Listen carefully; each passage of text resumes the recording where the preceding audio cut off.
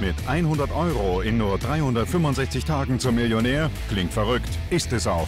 Doch ich will es herausfinden. Ich stelle mich der Herausforderung und will jedem beweisen, dass man ohne Kontakte und Geld nur mit Disziplin in einem Jahr zum Millionär werden kann. Mein Name ist René Huber. Ich bin 25 Jahre alt und habe mehrere Unternehmen mit aufgebaut und gegründet.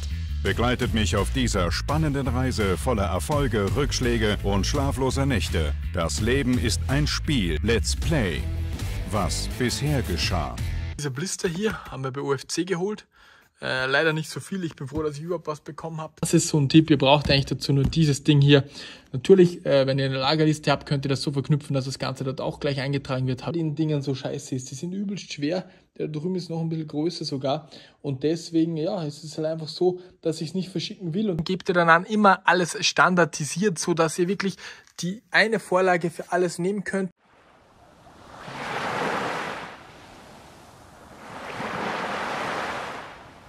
So meine Freunde, ganz kurzes Update, bevor es dann wirklich mit diesem Video losgeht. Wir werden jetzt immer zwei Videos in der Woche machen, weil es für mich einfach viel einfacher ist, euch dann wirklich alles weiterzugeben. In den letzten Videos ist auch sehr, sehr viel verloren gegangen und da wurde immer wieder gefragt, Herr René, äh, wo hast du denn den Deal überhaupt her, wo hast du diese zwei Spiele her? In Wirklichkeit habe ich die mal wo abgeholt, konnte es halt nicht ins Video packen, weil ich da gerade nicht mitgefilmt habe oder weil es uns viel zu lange geworden wäre und deswegen gibt es jetzt zweimal in der Woche ein Video von 100 zu Mio, nämlich immer Dienstag, ganz normal 18 Uhr und am Sonntag um 11 Uhr, Sonntag um 11 Uhr kommt das zweite Video. Zweimal kürzer, dafür viel geballter mit allem, was gerade so passiert ist. Dann kann ich euch immer wirklich die ganze Woche ähm, sozusagen weitergeben und muss nicht dann sagen, okay, ja, das habe ich da am Sonntag noch geholt, konnte nicht mehr reinpacken, weil es für den Schnitt nicht mehr gepasst hat. Ihr wisst, was ich meine. Wie sieht das Ganze dann mit dem Titelbild aus? Wir machen das dann einfach so, Folge 28 und am Sonntag kommt dann immer Folge 28-2.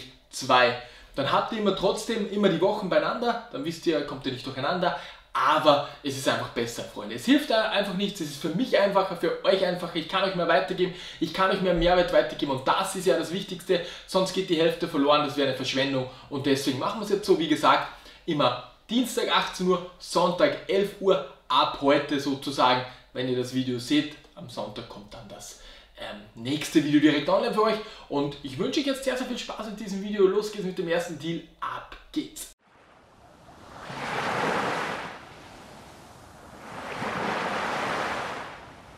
So, den ersten Deal dieser neuen Woche konnten wir in Steyr klar machen. Es bringt wirklich relativ viel, wenn man sich wirklich auch in der Umgebung, wenn man alles ausschreibt, dass man nach, nach wahren Rechnern, alles Möglichen sucht, dann bekommt man auch Deals. Das kann ich euch versprechen. Also wirklich unterschätzt die Macht nicht äh, von, von Werbung in Zeitungen, Flyer, einfach eine ganze Ausschreibung zu machen, auch lokal, vielleicht über Spock oder Willhaben, wie ich euch das Ganze schon mal erklärt habe.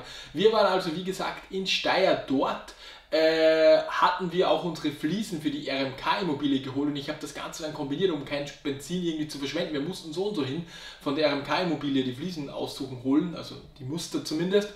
Wenn ihr da gerne mal ein Video dazu sehen wollt, wie wir das Ganze aufgebaut haben, wir vermieten ja die Immobilie, was die gekostet hat, wo wir die gebaut haben. Wir haben noch mehrere Grundstücke auch äh, gekauft. Schreibt mir das bitte gerne in die Kommentare, dann gibt es mal ein richtig fettes Video. Deswegen, wir haben da kein Benzin gebraucht, haben dann dort neunmal ein Ace-Site bekommen, so kleine Mini-PCs mit einer Mi3 4 GB RAM und 250er HDD. Dann haben wir 78 HDDs noch bekommen, äh, ein Acer-PC mit einem Pentium, der ist eher schlechter.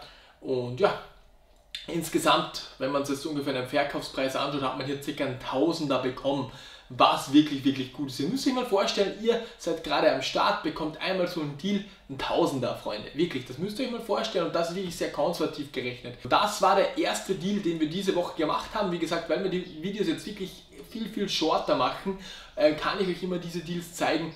Und wie gesagt, erster Deal 1000, 1040 Euro, ungefähr Verkaufspreis. Wir werden das Ganze dann gleich einstellen und ich bin wirklich sehr zufrieden. Kabel und so weiter haben wir auch noch mitbekommen. Des Weiteren sind diese Woche die ersten Auktionen gestartet auf unserem Shop und wir haben auch schon richtig gute Gebote bekommen.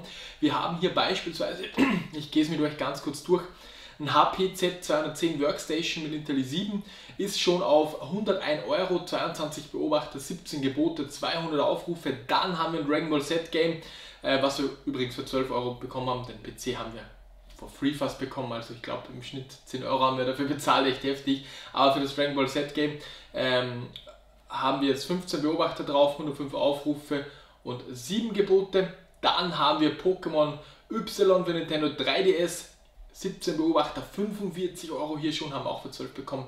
Pokémon Ultrasonne ist jetzt auf 23,70 mit 14 Beobachtern drauf.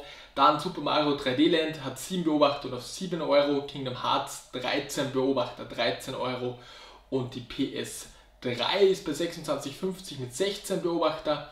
Dann haben wir noch ein Lego Set, ein Mario Party Island und Castlevania für N64. Die sind noch nicht so hoch, wie gesagt, seht ihr jetzt eh alles.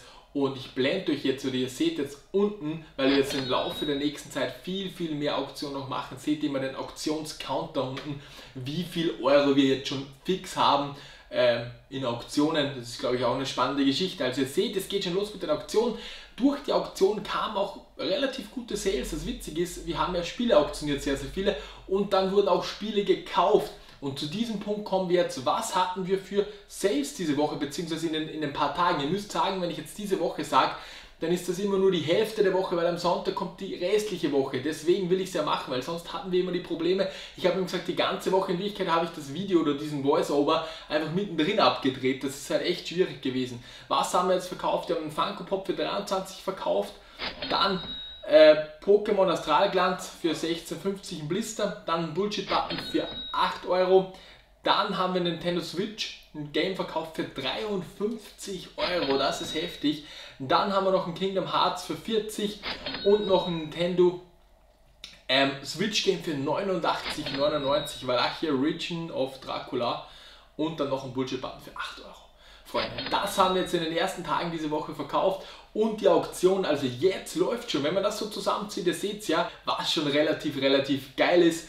Ähm, genau, Freunde, zusammengefasst, was sollte man jetzt beachten bei den Auktionen? Die Startzeit natürlich, ihr wisst das, ich will es nochmal predigen, startet die Auktion so, dass die auch an Tagen auslaufen, wo die Leute zu Hause sind, nicht irgendwie Montagvormittag, wenn es unter der Woche auslaufen lasst, was ich nicht empfehlen würde, was man aber machen kann, dann am Abend, ansonsten am Wochenende, Freitag, Samstag oder Sonntag, auslaufen lassen. Am besten ist Freitag oder Sonntag immer zu so einer Zeit, wo die meisten Leute zu Hause sind. Das gleiche kann, also das Ganze kann man sich anschauen, indem man sich die Analytics und so weiter anschaut, wann die meisten Leute auf eBay aktiv sind. Das ist eine relativ einfache Geschichte, will ich euch aber trotzdem empfehlen. Schaut bei der Aktion, dass ihr Produkte habt, die definitiv auch ansprechbar sind und die dann eventuell auch Leute noch auf eurem Shop blocken, wenn ihr ähnliche Produkte habt wie bei den Spielen, was ihr gerade eben gesehen habt. Das wollte ich euch hier ganz kurz noch mitgeben und jetzt geht es direkt weiter. Bis gleich.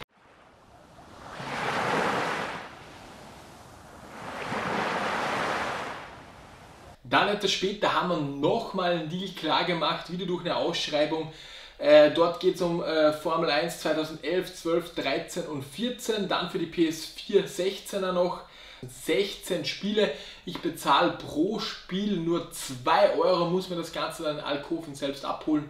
Da werde ich ungefähr noch 10 Euro für den Benzin herabziehen, aber das ist ein super Deal. Wir zahlen für jedes Spiel 2 Euro, die sind im Top-Zustand einfach nur nice, also das passt super. Was ich euch auch noch schuldig bin, ist der Warenwert, den ich jetzt aktualisiere. Und genau, ihr seht, wir haben schon einen mittleren fünfstelligen Betrag an Ware. Hier in der Mitte haben wir, wie gesagt, die Auktionen und hier ist das Kapital, das wir noch zur, das wir zur Verfügung haben. Äh, das steigert sich auch in der nächsten Zeit, weil heute werden noch einige Auktionen starten. Grundsätzlich habt ihr jetzt ein kleines Update bekommen in diesem ersten von zwei Videos, Freunde. Das zweite kommt dann am Sonntag was wir alles gemacht haben. Wir haben jetzt über 1000 Artikel am Shop. Wir haben einen fünfstelligen Betrag an Waren hier, die sogar schon eingestellt sind und wir haben nochmal einen fünfstelligen Betrag mindestens, der noch auf uns wartet. Wie schaut das Ganze jetzt aus? Wir machen immer so weiter. Äh, wir stellen Artikel ein, äh, ich kaufe wieder Artikel an, ich auktioniere Artikel, ich verpacke und jetzt ist es auch schon so, dass der Support immer immer mehr wird. Es sind Supportanfragen zu den Auktionen. Das muss ich auch alles noch machen. Aber der ganze Kreislauf geht jetzt dann wieder von vorne los. Auktionen, Cash holen, Artikel holen, Auktionen, Cash holen, Artikel holen, verpacken. So, der ganze Kreislauf wird immer und immer und immer wieder weitergehen. Und ihr seht, wir werden oder wir machen jetzt schon richtig gutes Cash. Ich traue mich wetten, dass wir äh, diesen Monat Juni hm, zwischen 5.000 und 10.000 einnehmen werden. Und jetzt sind wir dort, wo ich die ganze Zeit hin will, nämlich jetzt kommt das Cash. Und zusammengefasst, da müsst ihr euch jetzt vorstellen, das ist jetzt ein wie, viel, wie viele Tage haben wir jetzt Vorbereitung gehabt? Wir sind jetzt nicht ganz bei der Halbzeit. 170 Tage, fast ein halbes Jahr, nicht ganz ein halbes Jahr, hatten wir jetzt Vorbereitung habe ich Geld investiert, Zeit investiert, Schweiß investiert und habe noch, sicher habe ich schon gutes Geld rausbekommen, das aber wieder investiert und jetzt schon langsam kommt der Payday. Ihr seht es mit den Auktionen, ihr seht es mit den Sales, jetzt haben wir am Tag wirklich 100, 200, 300 Euro, wo, wo wir jetzt schon einnehmen. Und das ist halt einfach geil. Und ihr werdet sehen, in nächster Zeit wird es immer und immer mehr. Und deswegen jetzt auch immer die zwei Videos am Sonntag, weil dann seht ihr, was da alles möglich ist, in kürzester Zeit ein Geld zu verdienen, an Aktionen zu schalten, an Waren rauszubringen, an Bewertungen zu fahren. Und jetzt geht es halt richtig los, richtig los, Freunde. Ich will euch motivieren, gebt auch Gas, seht nicht immer alles als ein Sprint, das ist halt einfach ein fetter Marathon. Äh, wie oft ich schlaflos äh, gelegen bin, nicht auch wegen der Challenge, sondern weil ich halt alles andere auch noch habe. Ich habe noch eine Firma, da ist gerade eine Abmahnung am Start, ich habe gerade eine Finanzprüfung, das alles habe ich noch und trotzdem ist es mir scheißegal, weil ich bin einfach so wie ich bin, ich bin motiviert fürs Leben. Wir alle leben genau ein einziges Mal auf dieser Welt und weil mich immer Leute fragen, ja, äh, warum bist du immer so gut drauf? Ja, was bringt es denn, wenn ich schlecht drauf bin? Was ist, wenn ich morgen am Autounfall sterbe, dann bin ich im Tag davor noch schlecht drauf gewesen. Das hat doch überhaupt keinen Sinn. Natürlich sagt es wieder, nee, so kannst du nicht rechnen. Ja, was ist, wenn es passiert? Sei doch einfach glücklich. Wir haben alles, wir haben es so gut, wirklich. Denk jedes Mal, wenn du schlecht drauf bist, an mich und denk daran, was ich dir gesagt habe. Sei glücklich. Du bist hier auf der Welt, das ist schon mal wirklich ein hundertfacher Lotto-Sechser. Du bist in Österreich oder Deutschland, die meisten zumindest hier, was nochmal ein Lotto-Sechser ist. Du hast schon so oft im Lotto gewonnen und beschwerst dich trotzdem noch. Also nicht jeder, die meisten nicht, aber wenn sich jetzt wenn es dir mal schlecht geht, dann hör dir das einfach an. Und wir machen jetzt weiter. Ich bin jetzt noch am Listen. Ich werde noch Auktionen starten. Ich werde wieder Waren kaufen und werde euch dann natürlich wieder alles mitdokumentieren. Am Sonntag um 11 Uhr kommt das nächste Video 100 zum Mio, wo es den zweiten Teil dann gibt, wo es dann wieder, ich hoffe, ich bekomme noch ein paar Sales rein, Waren und so weiter. Ich bin noch an sehr, sehr vielen Dingen dran. Jetzt, wie gesagt, zweimal in der Woche. Ich sage so oft, weil nicht, dass dann wieder Kommentare kommen, hey, warum ist dieses Video jetzt kürzer oder so weiter. Ihr wisst, was ich meine. In diesem Sinne, Liked gerne, abonniert und kommentiert, Freunde, auch wenn ihr Video zum Thema ähm, unser RMK-Haus sehen wollt. Kommentiert da gerne. Und ansonsten wünsche ich euch alles Liebe. Wir sehen uns bis zum nächsten Video. René. Ciao, ciao.